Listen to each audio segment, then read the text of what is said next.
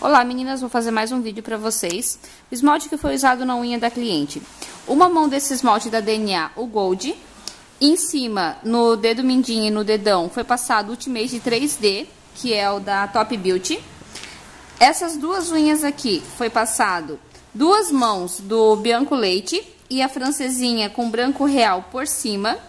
Essa daqui foi feito, passado uma mão só do esmalte do branco real e passado a francesinha com preto. Todas essas três aqui foi usado a base fosca da Blend. Agora vamos começar os pincéis que a gente vai usar e as tintas. Eu vou ensinar vocês a fazer zebra, zebra e mais uma flor de carga dupla. Vamos lá, o pincel que a gente vai usar é o pincel fino detalhes e o pincel de carga dupla. E um pincel velhinho que vocês tiverem. Nessas aqui, a gente vai pegar o esmalte dourado da DNA aonde que já tá a francesinha, vai fazer só uma listrinha com ele. Por isso que tem que usar um pincel mais velho, se vocês colocarem um pincel bom vai estragar. Que daí esse pincel aqui vocês podem limpar na acetona. Vou fazer aqui nas três unhas. Como eu vou fazer a zebra em cima dessa unha aqui, o esmalte branco eu passei só uma mão. O branco real da Top Beauty, ele tem uma cobertura bem boa, então ele cobriu super bem. Fazer mais aqui no cantinho. Já deixei todas as unhas fosca. A gente vai trabalhar com o nanquim para fazer a zebra e o pincel fino detalhes. Então, tem que deixar a unha fosca, senão não dá certo. Fazer mais aqui no cantinho. Tinta que a gente vai trabalhar é a tinta branca e a tinta magenta, verde pistache e o sépia. Vamos lá com o pincel fino. O nanquinho eu já coloquei aqui no papel manteiga. Vamos começar com a zebra.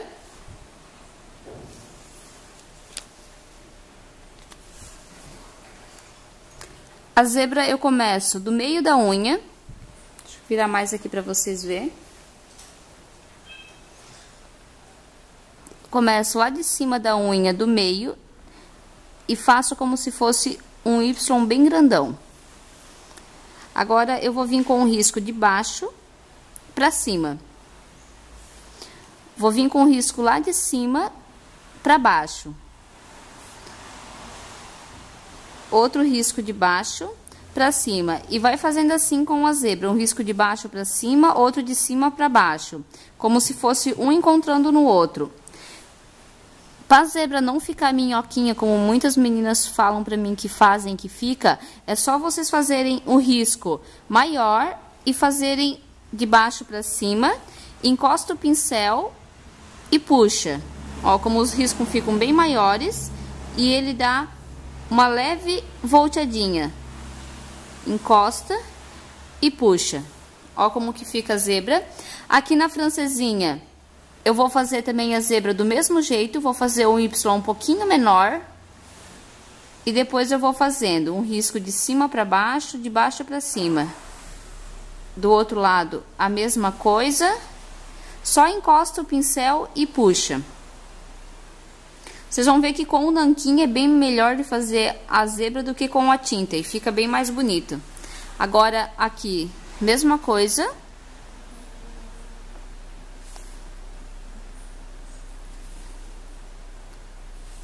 Encosta o pincel e dá uma leve volteadinha. Aqui o outro lado. E não esqueça de trabalhar com o pincel em pé. Olha só, meninas, como que fica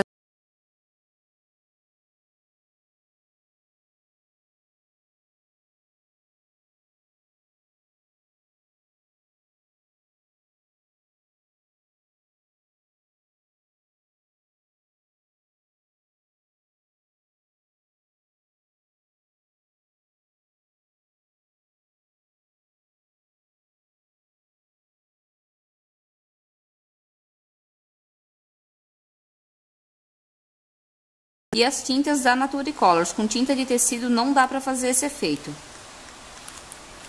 Então, vamos começar. Pétala do meio, como sempre, em todas as minhas flores da carga dupla, sempre a pétala do meio. Vou fazer uma na lateral e a outra pétala do ladinho. Vou molhar novamente a tinta, o pincel, e já vou fazer aqui desse lado, pétala do meio, encosto o pincel.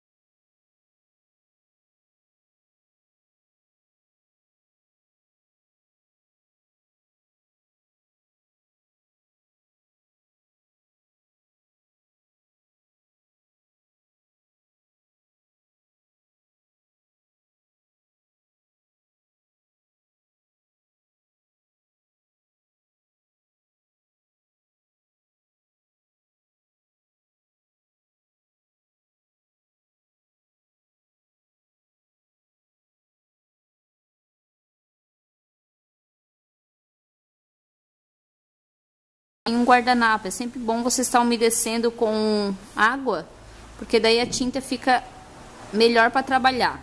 Aqui, prontinho. Agora vamos fazer a outra parte da flor. Eu vou começar aqui com a parte bem aqui no meio. Eu vou fazer como se fosse uma folha deitada. Vou virar o pincel e vou encostar lá na parte do branco. Agora, eu vou encostar o pincel na pétala branca e vou descer ele até aqui o meio. Olha o efeito que dá. Vou fazer novamente aqui para vocês. Se vocês tiverem facilidade, pode fazer duas folhas aqui dentro. Uma folha virada para cá e uma folha virada para cá. Eu não consigo, então eu faço desse jeito. Eu vou fazer aqui o risquinho, vou virar o pincel e faço como se fosse a folha encosto lá no branco, viro e desço. Olha o efeito bonito que fica. Já vou lavar o pincel da carga dupla. Agora, tinta preta, não nanquim, tá? Tinta preta. Para fazer esses efeitos aqui tem que ser sempre tinta preta. O nanquim demora muito para secar. Pinta aqui dentro dessa flor, onde que ficou o espaço. Vamos voltar com o pincel da carga dupla. Vamos pegar o branco e o verde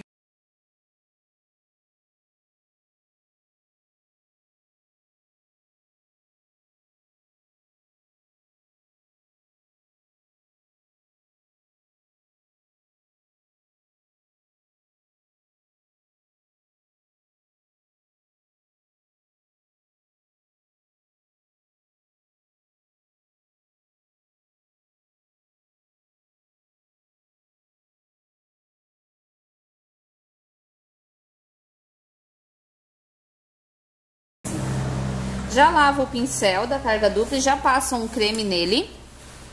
Agora eu vou pegar o sépia e o meu pincel fino detalhes.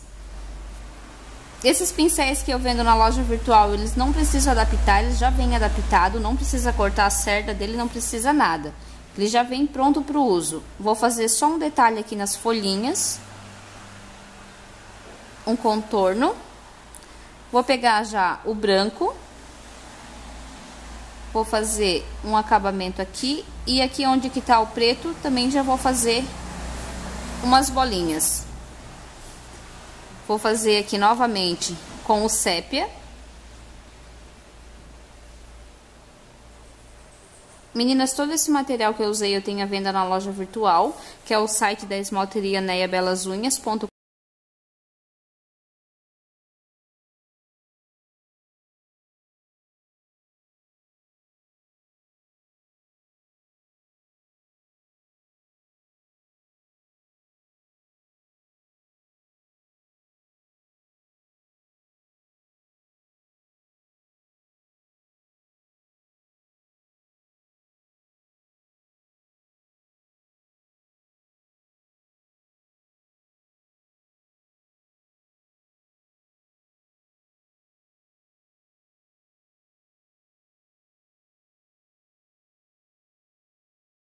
Eu vou passar ele já aqui nessa unha. Esse dourado aqui, eu acho que vocês não vão conseguir ver no vídeo, mas ele fica um dourado com brilho muito lindo, bem bonito fica, misturar esses dois. Aqui a flor já tá seca, a parte da zebra com o nanquim também já está seco.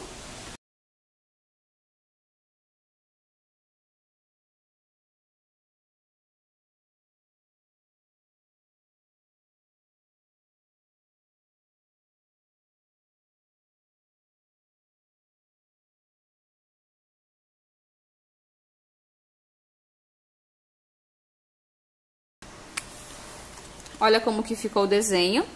Tá pronto mais um modelinho de vídeo e espero que vocês gostem.